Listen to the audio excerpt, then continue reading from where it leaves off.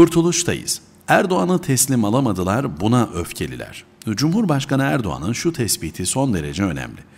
Bizi stratejik hedef yapana teslim olmayız. İki ülke arasındaki ilişkilerin geldiği nokta bundan daha iyi ifade edilemezdi. Dolambaçlı lafları bir yana bırakırsak Amerika ile ilişkilerimiz stratejik dostluktan stratejik düşmanlığa doğru hızla yol alıyor. Düzeltiriz ederiz lafları bir süre yol aldırır ama sonunda geleceğimiz nokta yine burası. Amerika bir kere Türkiye'yi stratejik hedef olarak karşısına almış, adım adım ülkemizi kuşatmaya çalışıyor. Etrafımızda olup bitene dikkatle bakarsak fazla göze batmasa da Türkiye'ye karşı bir çevreleme hareketinin devam ettiği görülür.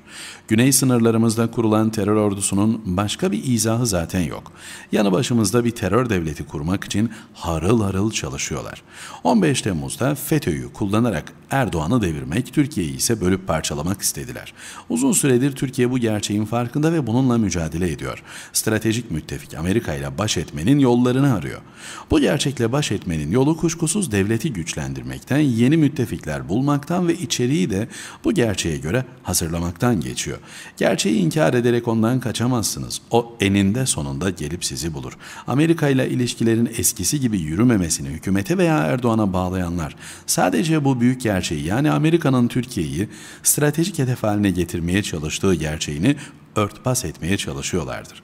Amerika ile sorunumuz yoktu. Niye böyle oldu diyenler söze müttefikimiz Amerika'nın terör örgütüne binlerce tır silahı neden gönderdiği üzerinde biraz düşünmesi gerekiyor. Bu sorunun yanıtını vermeden kimse Türkiye-Amerika ilişkileri üzerine ahkam kesmemeli. Papaz krizi Amerika'nın Orta Doğu politikasında yaşanan tıkanmayı açmak için gündeme getirilen suni bir krizdir.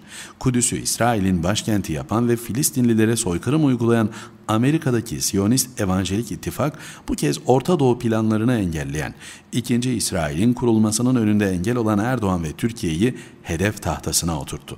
Papaz kriziyle beraber Türkiye'ye karşı alttan alta yürüttükleri kuşatma ve saldırıları açıktan sürdürmeye başladılar.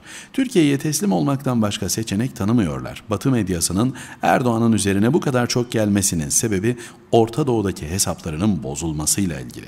Erdoğan Suriye ve Irak'taki oyunu gördü, müdahale etti ve bozdu. Amerika bunu bir türlü hazmedemiyor. Erdoğan'ı teslim alamadıkları için büyük öfke duyuyorlar.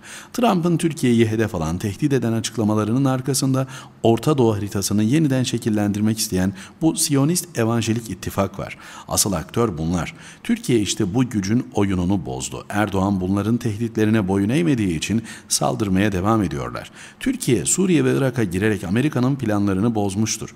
Kendi bekasını güvence altına almıştır. Bundan sonraki saldırıları da oluşturacak imkana ve güce sahiptir.